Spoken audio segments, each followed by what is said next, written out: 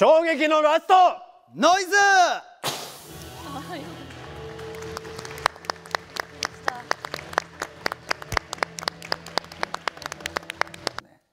これはですねあのキーワードはですね渡辺大地です。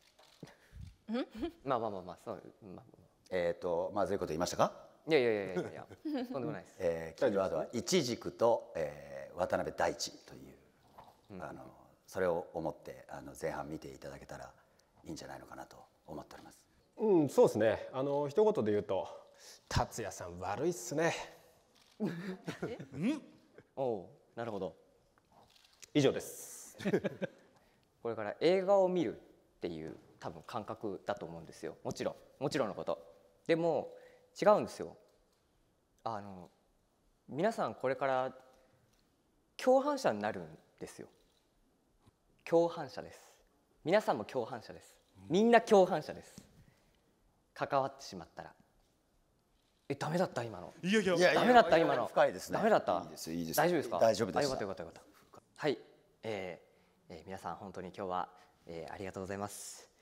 えー抱負を言いつつですか、えーまあとにかくね2022年もあの本当にねお互い体調に気をつけて、えーできるだけなんかこう笑顔で過ごしていきたいなとあの思っております。皆さんもそうであれと、えー心から祈っております。個人的にはいつかたっちゃんさんや松毛さんみたいな覇気が出たらいいなと思いながら、えー仕事を頑張っていきたいなと思っております、えー今日は本当に皆さん来てくださってありがとうございます。そして配信も、えー見てくださっている方ありがとうございます。ぜひ映画楽しみにしていただけたら嬉しいです。ありがとうございました。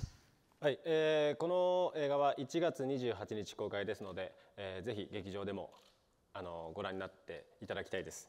で、えー、と今年の抱負は、まああのまあ、毎年思ってることなんですけども、まあ、あのいろんなことにチャレンジし続けるっていうのはもちろんなんですけどもそれをまあ自分のペースを乱さずに、えーとまあ、ややっていくことが、まあ、一番大事なのかなと思っています。えー今日はお越しいただいた皆様そして配信をご覧の皆様本当にありがとうございました。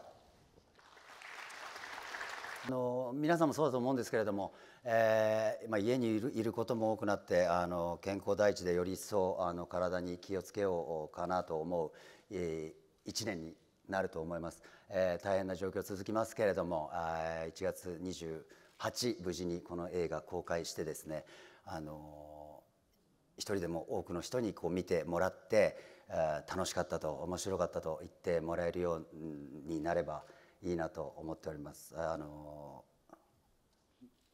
まあ何年もね同じこと言ってる感じがしてあの大変だと思いますけれどもあのもう少しみんなで力を合わせて、えー頑張っていきましょう今日はありがとうございました。